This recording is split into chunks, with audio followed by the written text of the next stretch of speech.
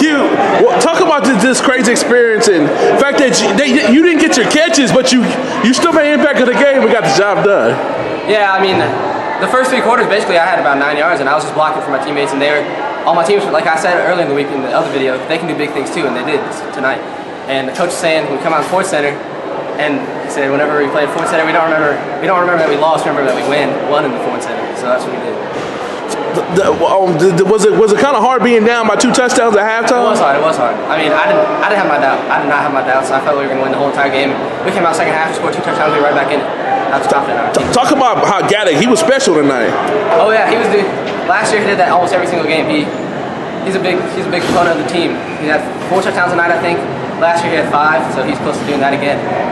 I was like to, the, the make an impact like this. Like tonight, you didn't have the big 180 yard games you've been putting up with, but you still made the impact to got the W. How does it feel to have that impact? Well, I mean, the yards don't show the impact, but I was I was putting 100 percent of my blocking out there, and I felt like I did pretty good. Matt had a great impact.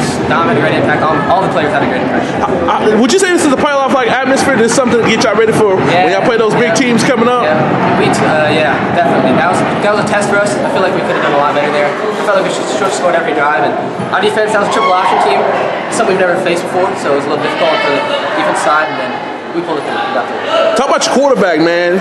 John, he pulled through. I think he exceeded everyone's expectations. He did great. He did really. And where's this team confidence heading into this big bye week that y'all get to relax and get ready for that tough district, the the Allens and the Planos and the Plano Wests of the world? Well, we, we've been scouting. We've been going to every, we've been watching every team every Friday night, every Thursday night.